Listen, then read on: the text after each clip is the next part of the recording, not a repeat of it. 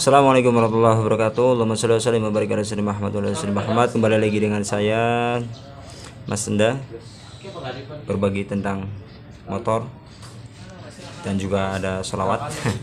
Ini kali ini saya ingin berbagi tentang Cara pengetopan motor Honda Grand Di gigi sentrik Pengetopan gigi sentrik. Nah ini.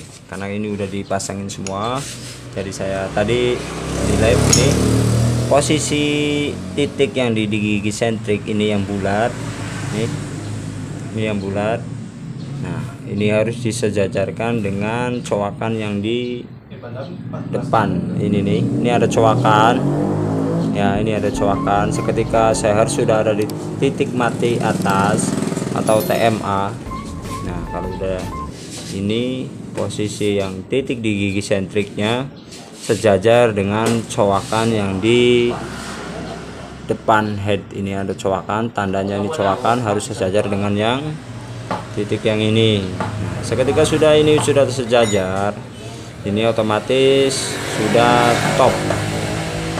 Jadi seketika sudah top kompresi pun normal. Nah seketika sudah normal dinyalakan mesinnya langsung top chair menyala.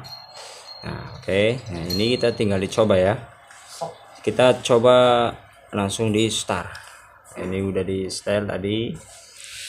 Om konjerang delat om. Eh, ini posisi ya nanti nyala atau tidaknya kita coba. Jadi ini posisi titik ini sejajar dengan yang di depan. Oke kita tes.